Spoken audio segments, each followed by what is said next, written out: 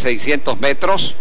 Se dio la partida en el clásico Andrés Bello, temporada 2016, a tratar de tomar la iniciativa Guaramía, pero rápidamente Ronnie River la desplaza y se viene Ronnie River a dominar a Guaramía por medio cuerpo de ventaja. Miss Vino Tinto se coloca tres cuerpos a cuatro, está quedando la yegua Satanta cuando están en plena recta opuesta con Ronnie River dominando por medio cuerpo a Guaramía que ahora le plantea lucha, se vienen en el cabeza a cabeza a dos cuerpos y medio Vino Tinto, a tres cuerpos aproximados, corre la yegua Satanta, está River dominando la carrera y Guaramía por la parte de afuera, continúa el cabeza a cabeza, mi vino tinto en el tercero, Satanta corre en el cuarto, el primer parcial es de 24 para los 400, Ronnie River y Guaramí enfrascadas en dura lucha por el primer lugar, viene pasando Satanta al tercero, mi vino tinto queda en el cuarto lugar, Guaramía por fuera contra la yegua Ronnie River, Ronnie River en la delantera, insistiendo por la parte de afuera, la yegua Guaramí en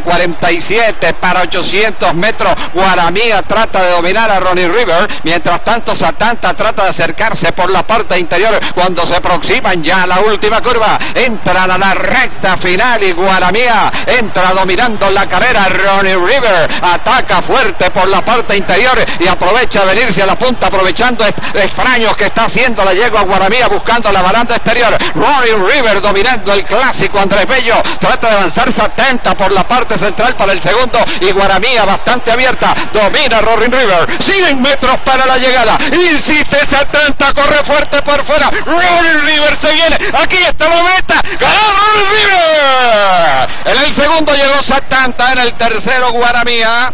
El último para la yegua Miss Vino Tinto. Esta yegua cierra el grupo en este clásico Andrés Bello.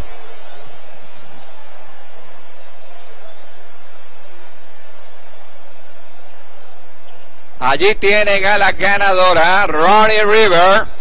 Tercera victoria en cuatro presentaciones. Con la monta de este excelente jinete venezolano Giancarlo Rodríguez.